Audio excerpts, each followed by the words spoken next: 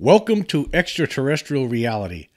You know, I've been receiving a lot more uh, comments from uh, followers. Uh, my my following has been growing, and I really appreciate that. Uh, I get a lot of, uh, mostly, uh, you know, supportive comments, and some comments I get not so supportive. Um, so, to all the people out there who listen to my podcast and also watch my YouTube videos, I just want to say I really appreciate, you know, the, your your input. Uh, anyway, and I'll get into that a little bit more later on. But I want to talk about one of the comments I just received uh, today, actually, and it was from one of my uh, followers named uh, Joshua Sevdi, and uh, he's was commenting about the the theory that has been posited by uh, my anonymous source with regard to these uh, alien beings, you know, evolving from insects and uh, possibly colonizing the planet, and they feed on blood. And I've talked about this theory uh, a number of times on here. To me, it makes a lot of sense. Uh, probably more sense than a lot of the a lot of the other theories I've heard. But anyway, he provided a comment here, uh, Mr. Sevdi, and I'm going to read some of this comment. Um, it says here say the theory is correct, the blood sucking space ants theory. If they do, in fact, have a hierarchical uh, structure with the mantids, tall grays, short grays, etc., what if there is a warrior caste we have to we have yet to see, waiting in stasis on cigar ships on the dark side of the moon? Big uh, effers with forearms, muscles, pincers, acid, and venom ducts. Uh, I'll get into more of the comment after that. Well, I guess that's possible. I mean, it, I mean, maybe there's a beings out there that are actually above the praying mantis and or ants or whatever people, whatever you want to call them. Uh, there could be, uh, there could be some beings that are uh, that we haven't ever seen yet. I mean, that are out there waiting in the dark, you know, waiting in the darkness to uh, you know maybe they're the ones who uh, in the final analysis take uh, control and all these other ones are working for them and we just don't know it now whether they're they're big and monstrous looking like described here we, we don't know i mean it, it could be and i mean anything's possible i mean the, the whole point the, the, everything that i talk about here on this podcast is you know, all of it's speculation. All of it, uh, that's all we can do, really. I mean, what else can we do? Or you can only speculate. The only thing I don't speculate on is the fact is is one thing is that, and that, you know, I firmly know. I mean, as far as I'm concerned, I know that there's a presence here, and I think a lot of other people who follow this podcast think the same way, or they wouldn't be following this podcast. I mean, it's just, uh, you know, you know, some I'm sure some people. I mean, there there are a lot of people who have commented on here had their own experiences, so they know. You know, it's like you, if you you know when you see one of these craft, I mean, you just know it, right? So. Uh, you know, I just want to make this clear. I, you know, I'm just trying to make clear here that you know, I, you know, everything beyond that is speculation. But the fact is, there's something here, folks. There's no question. I mean, I've seen one of their craft, and one of those beings, some one of their beings, were was in my room I talk about that all the time. I feel like a broken record actually, and I'll probably keep talking about it all the time because it's you know, it was a significant thing that happened in my life. It's just it's, the memories of, of, these events, you know, that happened. There were basically three things that happened, but the first two I talk about the most. The third one is so strange, I don't even know what to think about it. I, I think it wasn't involving aliens. That was the, you know, when I when I was living in Hawaii and a dog disappeared, and I talked about that a number of times too. Uh, but those first two incidents that I experienced, I mean, there's no question in my mind that, uh, you know, that when I was a kid, there was a being in my room that had three fingers, uh, three digits. That's it on its hand. And they, they didn't look like human digits either. And, uh, and of course, the, the object that I saw along with another witness in 1994. So you know, with that out of the way, yeah, I, I, I'm I know there's something here, but beyond that, everything is all speculation. Of course, of course, there could be something above the praying mantises. Right? There's no question about it. Um, I'm going to read the rest of this uh, quote uh, because uh, the rest of this comment because there's some other interesting things that he said here. Um, he said he points out, wasn't there a story recently about some astronomers who thought they might have found a Dyson sphere around some star? What if that is their armada?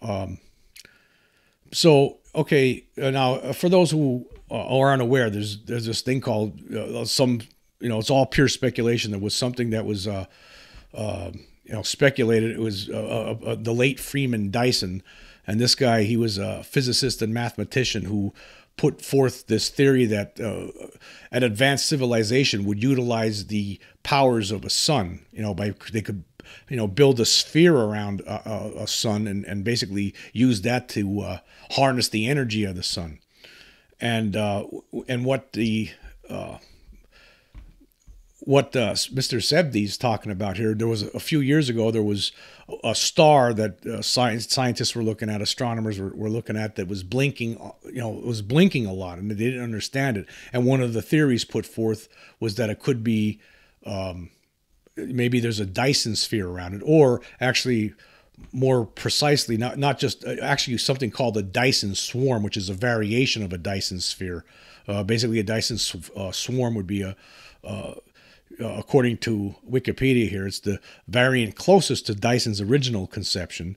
It consists of a large number of independent constructs, usually solar power satellites and space habitats, orbiting in a dense formation around the star. This construction approaches uh, approach has advantages. Components could be sized appropriately and can be constructed incrementally. So basically, it would be like a, a series of solar panels, basically somehow strung together around a sun that basically somehow the uh, uh, uh an, an alien race could utilize the energy from a star that way. So that was the one of the theories that was put forth. And actually, there was some, some articles about this, and I'm going to read. Here's an article that was uh, published in uh, back in 2019 in Space.com. I'm going to read some of this. Alien megastructure star may not be so special after all. Now, before I start reading this, I just want to get back to the comment. Uh, from Mr. Sebdi. Now he's saying that you know what if that's an armada? Well, I don't know about that. I mean, but it could be you know this could be a place where these things are coming from because I mean it, you know the a Dyson sphere or a Dyson swarm. The hypothesis behind those is that you know they're drawing energy. You know the, the alien uh, races are using these uh, mega structures for you know to draw energy from a star. So I, I don't see how that you know that wouldn't be. Uh, you know that a, Dyson sphere wouldn't be an armada, but uh, I mean they could be coming from this place. I mean this star, but I want to read this article a little bit, and we'll we'll talk about it then. Um, it states a mysterious star whose repeated bouts of darkening might be due to alien megastructures, according to some researchers' conjectures may now have more than a dozen counterparts that displayed similarly mystifying behavior, a new study finds. Further research into all of these stars might help solve the puzzle of their bewildering flickering, the study's authors said. In 2015, scientists noticed unusual fluctuations in the light from a star named KIC 8462852, or uh, by the way, that, that that's also called known as Tabby star or uh, uh, there's another name for it. I don't know. I think they I think they talk about it up here. Uh, actually, uh, Boyajian star. Uh, we're gonna call it Tabby star from here on out, even if the article's called it something else. Tabby star is a lot easier to say. Anyway, the otherwise normal F-type star, which is slightly larger and hotter than Earth's sun, sits around 1,480 light years from Earth in the constellation Cygnus. When the researchers anal- analyzed data from NASA's Kepler Space Telescope, astronomer Tabitha Tabby Boyajian, then at Yale University, and her colleagues found dozens of odd instances of Tabby star dimming by up to 22%, with such dips lasting anywhere from a few days to a week. These events did not appear to follow any pattern and seemed far too substantial to be caused by planets or dust crossing the star's face.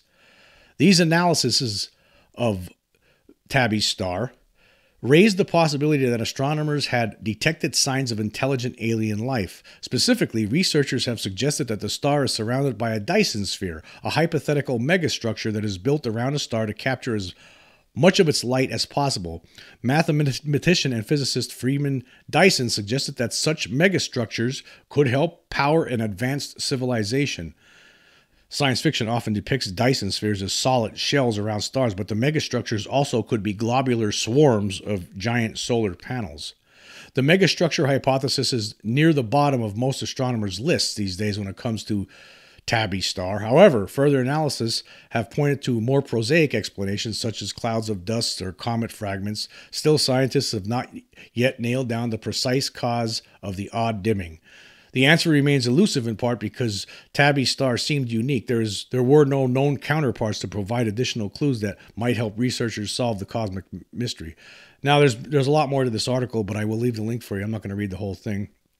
But they haven't figured it out yet. They don't know. I mean, a lot of scientists, there's a lot of prosaic uh, explanations for it. I mean, if you go to Wikipedia, they talk about all the uh, prosaic information uh, explanations for it. You know, could be just natural, could be clouds, you know, uh, rocks, meteors, you know, things like that uh, that are causing the dimming effect. Uh, but who knows? We don't know. But I mean, the bottom line is this the idea of a Dyson sphere or a Dyson swarm or whatever variation you want to talk about, uh, you know, it's, I mean, it makes sense. I mean, uh, you know, you would think, you would hope, you know, humankind at some point has, you know, is basically utilizing the power of the sun for everything. I mean, that would make more sense. And this way, we wouldn't be destroying the planet and, you know, with, uh, you know, why you keep continuing using fossil fuels. For, you know, if we were using the sun directly somehow. If we, if we ever could reach a point technologically where we could construct something like this, well, it makes sense. Again, we don't really know though. Uh, but you know, getting back to the commenter, you know, it's uh, he goes on here. I'm going to read the rest of his comment. It says, uh, he's what we earlier. He, uh, he, uh, Mr. Sevdi said, well, "What if that is their armada? What if it's nothing? I guess if it is, we're most likely done for. Hopefully, we have some low key benefactor out there looking out for us. Maybe the hive is known throughout the galaxy. Maybe they've they've done this to other worlds. Like interdimensional roaches, they hide in another dimension and then infest the world. Hopefully, some galactic exterminators are on the job. It could be. I mean, we there could be. I mean, there have been all there, has been other kinds of beings reported other than the grays and the you know and uh, tall grays and you know, there's and also the, uh, the insectoids. There's been other things that have been reported. I mean, some people talk about reptilians, but are they in on it with the insects? I mean, we just don't know. And then there were the things like, uh, like every now and then you you hear about a case where the beings com- look completely different than what you've heard before, like uh, uh, the beings that abducted uh, uh, Calvin Parker and and uh, Charles Hickson back in 1973 in Pascagoula, Mississippi. They was actually looked like these robots with, with very strange looking robots that floated out of a flying saucer and dragged those two guys on board uh, and then examined them and then let them go. Uh, you know, what were they? You know, what, you know, were they, who were they working for? I mean, what was that all about? You know, so there's a lot of could be there could be just some beings that are just passing by and just stop here and examine us and, and you know check check out the planet for a little bit and then and then leave.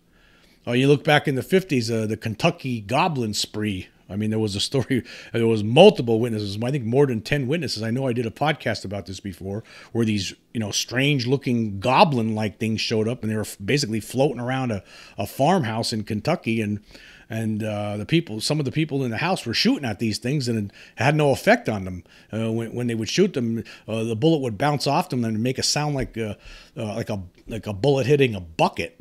Right, you know, the cops were called, police were brought into the scene. There was, you know, everyone was all frazzled. I mean, every, they all stuck by their story for the rest of their lives. Right? I mean, why were they making it up? I mean, what was that all about? Uh, so there's all different. There's been all different sorts of creatures that have been reported. I mean, Travis Walton uh, during his event, he saw this, the short apparent gray beings, but then later on, he he walked into, a, into another room in the spaceship, and uh, he saw, you know, these uh, tall human-looking figures. He said you they you would, they would pass on the street as humans. They did not talk to him. They just looked at him and you know, and they didn't say anything to him. You know, now some people say that these Nordics, these Nordic-looking cracks, you know, there's all different theories about that. We don't know the answer. Are these Nordics? Are they uh, the uh, result of the hybridization program? Possibly, or some people say that uh, they're they're actual alien beings, uh, maybe reptilians. According to some abductees, that this is some sort of a mask, a, a holographic image that's uh, you know basically hiding the features of what's actually a reptilian type of a creature. We, we just don't know what's going on. but there are things here, and whether there are, hopefully, uh, you know, like uh, like it says here, like uh, the possibility, like uh, Mr. Sevdi says that, you know, hopefully you would think that uh, these beings are, you know, there are other beings that might be looking out for us. You would hope, maybe. I, who knows? I mean, or maybe they're powerless. Maybe the Greys are, are more powerful and have more uh, more advanced technology than what these other visitors might have. Who knows what's going on? We don't know. We just don't know. All of it's speculation. All we can say, right? And I, I know a lot of people out there. There are a lot of people out there, debunkers and deniers, and they they, they don't want to accept this, right? Uh, but the one thing that is certain there there is an extraterrestrial presence here. There's a non-human presence here. That's one thing that's clear.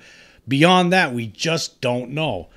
Hopefully, you know, maybe our government has some more answers, but they probably don't know it all either. Um, and you know, right now, actually, I feel like uh, you know a lot of the things I'm talking about. You know, the way I'm talking right now. It's what's funny is like I I think these thoughts. You know, I have these ideas and you know concepts in my mind a lot. And you, you know, I was watching an interview just recently with uh, James Fox last night. It was uh, pointed out to me by some people, and uh, it was a very good interview. And uh, it was like a three hour thing. I'll leave a link for it here in, in the description so you can check it out for yourself. But the way he's ta- he's talking the same way I'm thinking. You know, it's like there's a lot of people right now. It seems like we're all starting to, you know, you know, it, it's starting to happen. I think. I think people are starting to open their minds, open their eyes to this, and realize that yes, there's something here, but we have to agree that we just don't know, we don't understand it. There is something here. We need to admit at least that part. Uh, there is definitely something here, and we need to, you know, I'm I'm I'm happy with the way things are going on that front. Now, of course, there are people out there, the the negativists, uh, like Stanton Friedman used to like to call them, who uh, just want want to fight this, keep fighting, and, and and it's just so foolish on their behalf. It really is so foolish. I mean, uh, it's like uh, I know for a fact, you know, I know for a fact. I've seen things. I've seen these things. I've experienced them. And so when you see these people just trying to find, you know, bend themselves into twits uh, pretzels to try to come up with excuses just to placate the the scaredy cats that can't deal with this reality that need it. It's just very sad.